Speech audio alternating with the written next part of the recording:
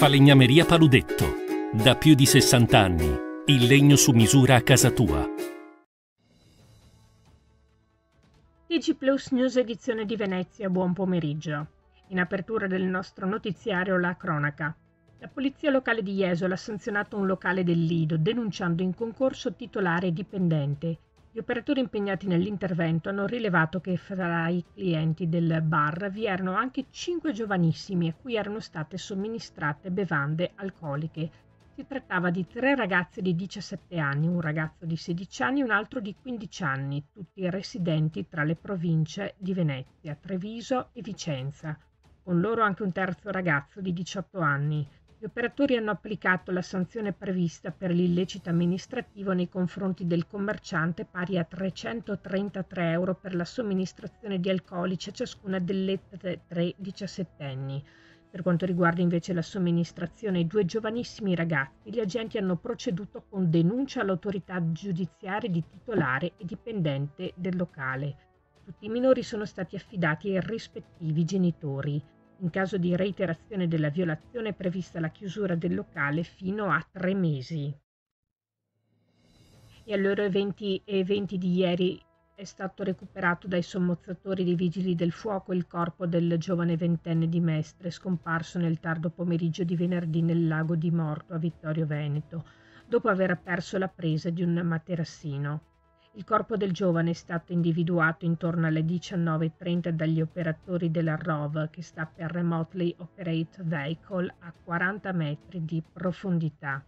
I sommozzatori di Venezia hanno provveduto a immergersi e recuperare la salma che è stata caricata su un gommone messo a disposizione dell'autorità giudiziaria.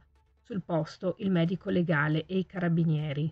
Il ROV utilizzato proveniente dal comando dei Vigili del Fuoco di Milano con due sommozzatori operatori e una strumentazione adatta per le ricerche in alto fondale.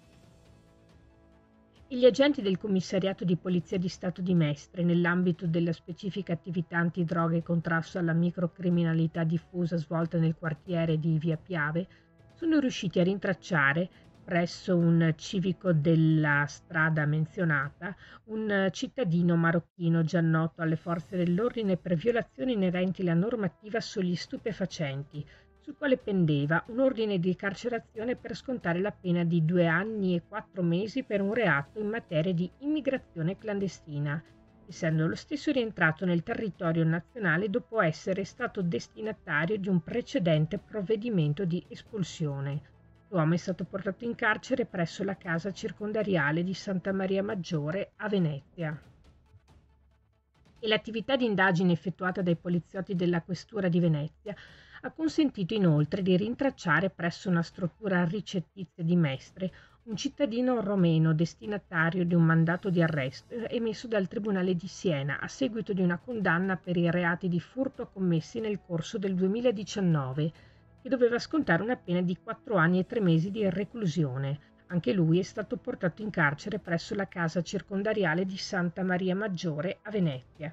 Si chiude qui il nostro notiziario. Grazie per averci seguiti. Arrivederci.